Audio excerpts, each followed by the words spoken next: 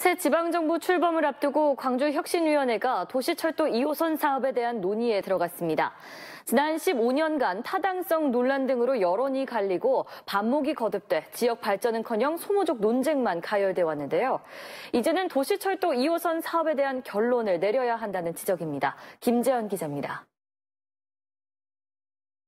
6.13 지방선거를 앞둔 올해 초 도시철도 2호선 사업에 대한 재공론화 요구가 터져나왔습니다.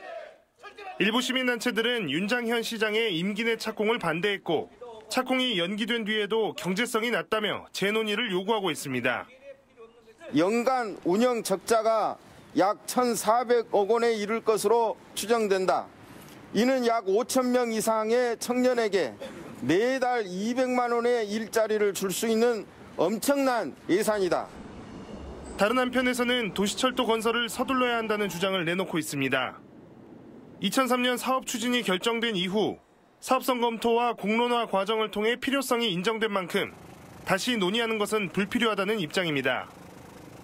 지역에 예를 들어서 교통을 균형적 발전 측면에서 어떻게 좋은 것인지 그 이미 2호선이라는 공론화 과정을 오랫동안 거쳤기 때문에 이용섭 당선인은 선거가 끝난 뒤 곧바로 도시철도 2호선 사업에 대한 논의에 나섰습니다. 사업을 반대해왔던 시민단체 대표를 혁신위원으로 선임하는 등 다양한 의견을 듣겠다는 입장입니다. 그분들이 들어오실 때는 여기서 치열하게 논쟁을 해서 합리적인 방안이 도출되면 그 방향으로 가자는 것이죠.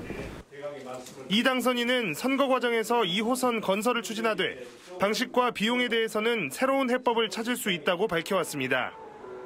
지난 15년간 계속된 소모적 논쟁으로 지역민의 혼란을 불러왔던 도시철도 2호선에 대해 새 지방정부가 결단을 내려야 한다는 지적입니다.